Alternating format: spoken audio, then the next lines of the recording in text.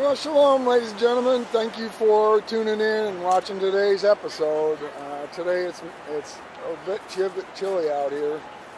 Uh, I did do one set and uh, reset the, the the rig here. Um, where are we? We're Broadway. After you get stopped up there, you have to come south on Fifth and then catch 23rd off of, uh, catch Broadway off 23rd. But there's a way through the city that's a lot faster a lot of times. I've been here now, driving for about a year. Know, it has been an eye-opener. There's of paths to get lost on.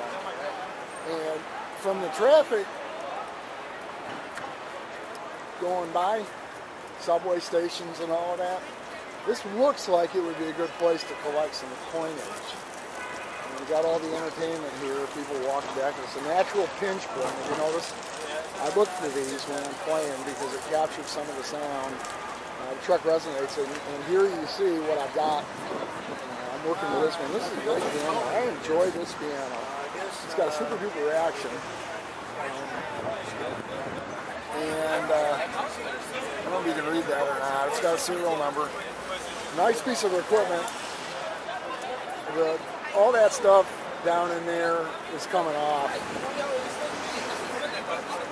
Hey, look, I picked up some coinage. Bluetooth tires bringing back a, a boat trailer. It occurred to me I might be able to get two 13-inch tires installed on it and be done with the problem and not even have to chase new anything. Uh, here's my, some of my adoring fans.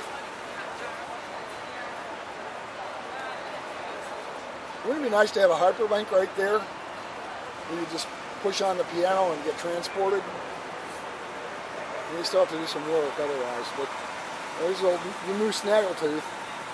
A second set of keys, the thing got rained on, and then somebody uh, mischievous broke five of the hammers. And in the rain and everything else, uh, what you see is I pulled off all the felts. So somebody identified it as kind of a hammered dulcimer. I'd say it's a hammered dulcimer on steroids.